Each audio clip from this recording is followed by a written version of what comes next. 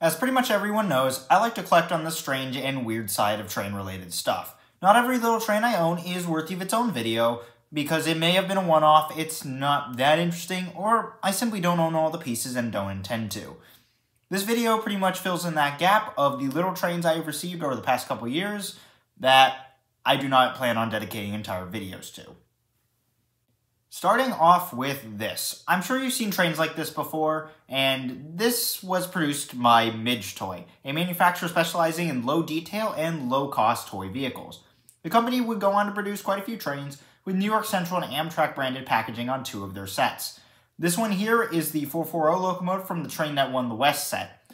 I can't confirm if this one is based on any particular locomotive, nor do I care to do the research. The toy is almost all metal, with the wheels being plastic to prevent damage to floors.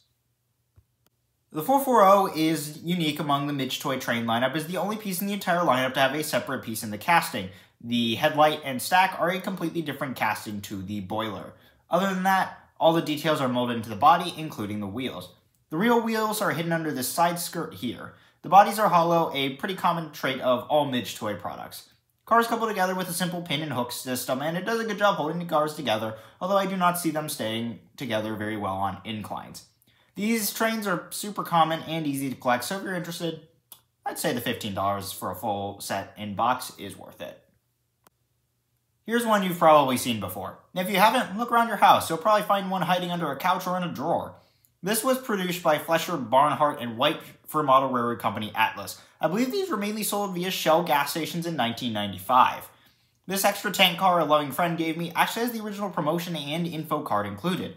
This set included an 080 steam locomotive, a tender, tank car, and a caboose. The main body of each car is made of die-cast metal with a plastic frame and wheels. All details are molded into the one-piece body, with the trucks on the cars being able to rotate, as this set had a mail-in promotion to receive a circle of track. Speaking of track, this set is compatible with HO scale track, although it does not roll well and the locomotive occasionally clips on switches. Cars couple together with a simple loop and pin system, and they really do not like inclines.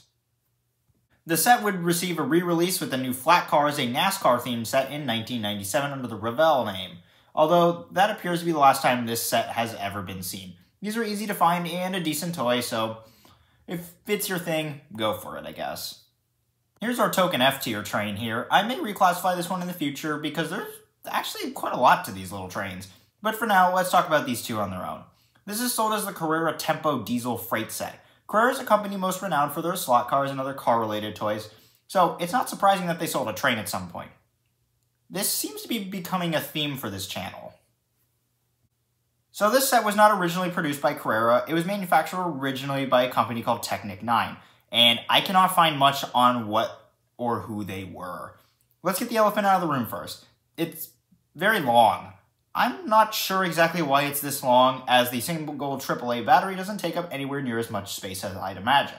It's powered by a single driven axle that looks completely ridiculous, and I couldn't actually get this one to work in time for the video, but it's been called pathetic by more than one person I've talked to. So that should give us an idea of how well it runs. Interestingly, the cars and locomotive have metal wheels. The couplers are a simple hook and loop system and don't feel completely terrible. It supposedly fits on N-gauge track, but I don't own any, so I cannot confirm. There's a whole line of these little parasites with several different liveries, accessories, and other train types, especially under the Technic 9 name, with most being just as ugly and all sharing the same terrible drive. Next up is a familiar name, Lionel. Yes, that Lionel. In 1999, Lionel offered a short-lived line of trains they dubbed their Classic Series. The lineup would go on to offer six iconic Lionel locomotives in both one 120 or TT scale starting in 1998 and one 160 or N scale starting in 1999. The locomotives offered included the New York Central Hudson, the Norfolk and Western J class, Santa Fe F3, a Chessie GP9, Pennsylvania GG1, and the Western Atlantic Railroad General, which I have in both scales here. We'll start with the N-scale one here first. The locomotive and tender are permanently coupled, unlike the other steam locomotives in this range and scale. Detailing is incredibly simplistic, with the entire body being one metal piece with plastic wheels underneath dummy wheels and rods.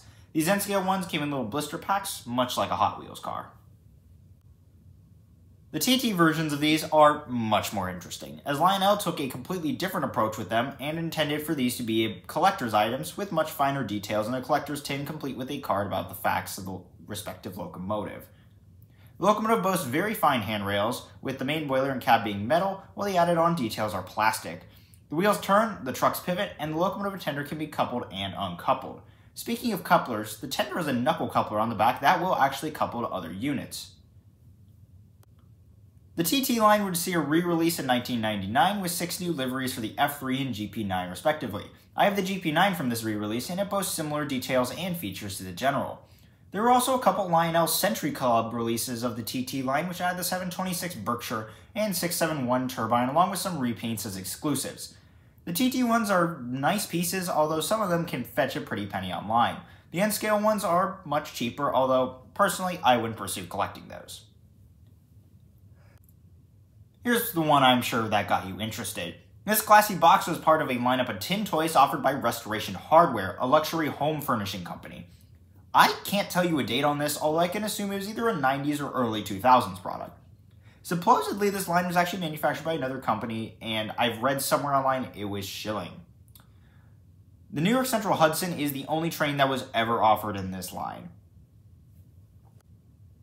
Out of the box, it's uh, comprised almost entirely of sheet metal, with bent tabs being inserted into small holes to hold the whole structure together.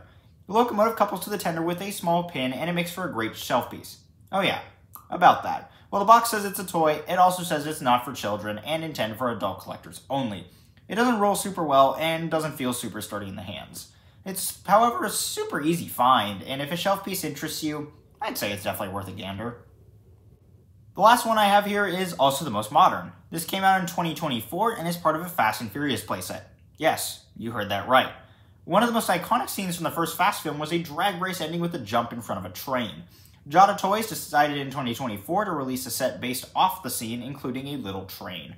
This set was part of Jada's Nano line, a small lineup of cars based on movie franchises. This set has to be assembled and it simply just snaps together. Well, we're obviously going to focus on the train here. The locomotive in the film is an ex Rio Grande EMD GP40. The train here is actually fairly faithful to the original, at least looking at it from the back. I say from the back because the front is just completely flat. I have no idea why it is like this, especially considering the back is angled. Other than that, it's a pretty passable GP40. It's coupled up to a center beam car, which is also reasonably well detailed. There's not much to write about here though, although the crates on board do not detach. They couple together with a small pin and hook, and the trucks on the bottom do not rotate. This train is also meant to be a display piece much like the previous Hudson, so the track it comes with is not meant for play. The train pretty much rides along on the ties, and the whole thing assembled is just not play oriented. The whole thing is very easy to assemble, with everything just clicking together. It's still on shelves, so if you're after the train though, I wouldn't really recommend this.